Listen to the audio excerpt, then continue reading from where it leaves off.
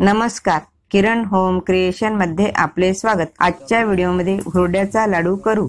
त्याकरता साहित्य बघू. हुरडा एक वाटी साजूक तूप तीन चार चमचे गूळ दोन बट्टी काजू चार किसमिस आठ दहा विलायची पूड अर्धा चमचा. हुरड्याचा लाडू करू. हुरडा स्वच्छ आहे. प्रत्येकच वेळी हुरडा स्वच्छ मिळेल असे नाही. त्याकरिता हुरडा पाखडून निवडून घ्यावा. त्यात जास्तीच कोंडा असेल तर धुवून कॉटन कापडाने पुसून घ्यावा. हुरडा आणून बरेच दिवस झाले व हुरडा सोकला असेल तर दोन तास पाण्यात भिजत घालून धुवावा. कोंडा निघेल व कापडाने कोरडा करावा.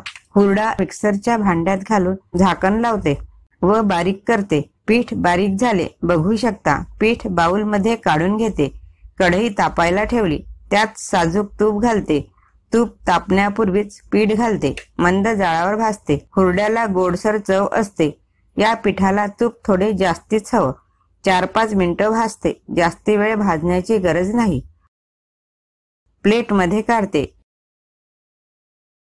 याच कढईमध्ये गूळ घालते. गूळ नरमच असल्यामुळे फोडण्याची गरज नाही. गूळ कडक असेल तर फोडून घ्यावा. गूळ वितळून घेते. कमी गोड हवं असेल तर गूळ कमी घालावा. गुळवीर घडला. यात हुरड्याचे पीठ घालते मिक्स करते. गुळ शिजतो आहे.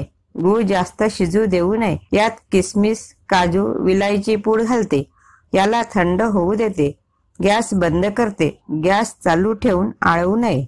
गॅसवर ठेवून आळवलं तर लाडू कडक होतील. लाडू नरम हवा असेल तर हुरड्याचे पीठ भाजल्यानंतर त्यात एक वाटी दूध घालून वाफ येऊ द्यावी.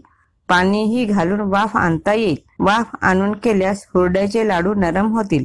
एवढे थंड होण्याकरिता अर्धा पाऊन तास लागतो. लाडू करण्याकरिता आळलं आहे. लाडू करू. हाताला थोडे तूप लावते व लाडू वळते. लाडू छान गुळगुळीत बांधला जातो. बघू शकता.